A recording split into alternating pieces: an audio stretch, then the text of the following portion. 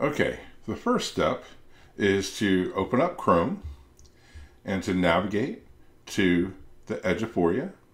So I'm going to click on Eduphoria here under Manor ISD bookmarks because I'm logged into my Chrome browser, which makes it nice and easy. And then I'm going to go ahead and log in. And then I'm going to click on Aware.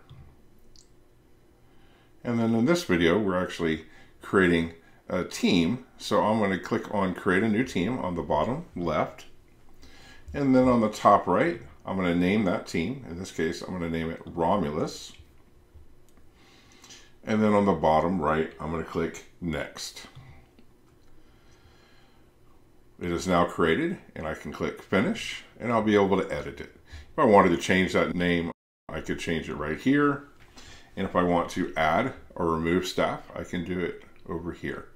So in this case, I'm actually going to search for myself.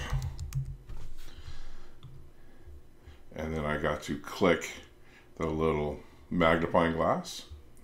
And once you find who you want to add, you can select them.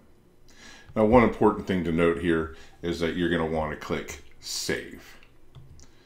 All right, so now we have this team saved here and we can move on to creating a team test in the next video. All right, I hope you got something out of this and you have yourselves a great day.